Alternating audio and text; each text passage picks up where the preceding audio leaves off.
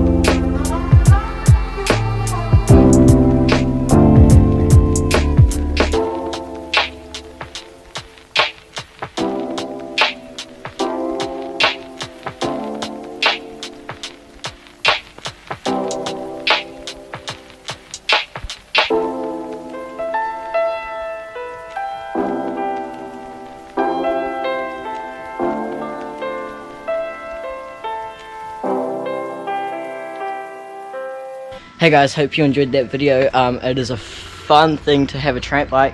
So if you have a bike laying around, make sure you make one. You get to learn actually new tricks. It helps a lot. And hope you guys enjoyed that video. Like, subscribe. See ya.